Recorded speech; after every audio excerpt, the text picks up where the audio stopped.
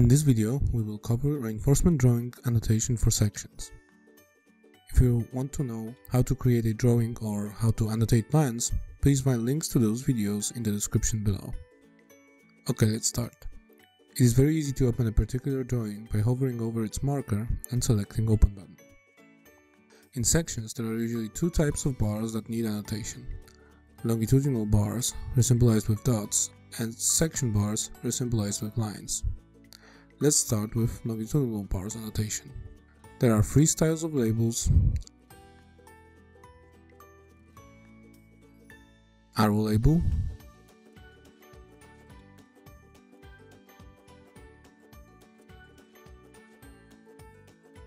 dimension style label with dimension, marking the extent of the group, and finally bar mark label, showing bar mark number next to each bar.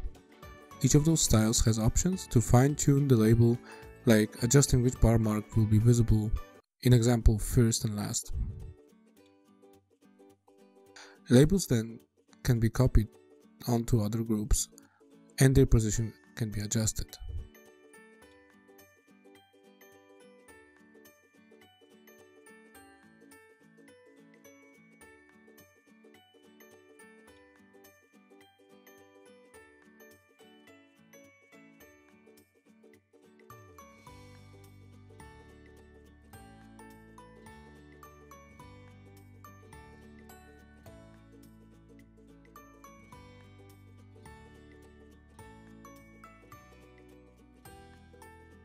In this particular section, bars with varying length are included because of the geometry of the slab.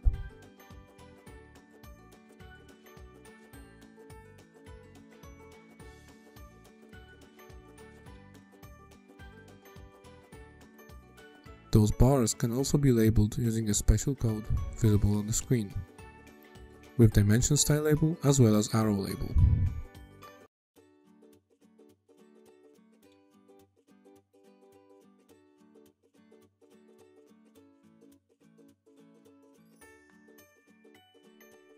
Section bars, are symbolized with lines, can also be annotated using arrow label.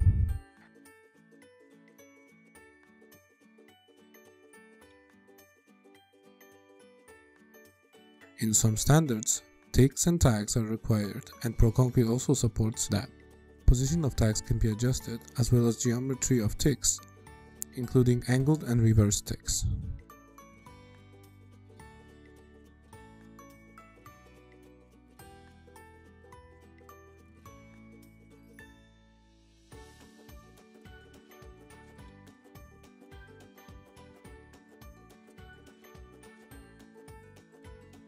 That is how sections can be annotated in ProConcrete.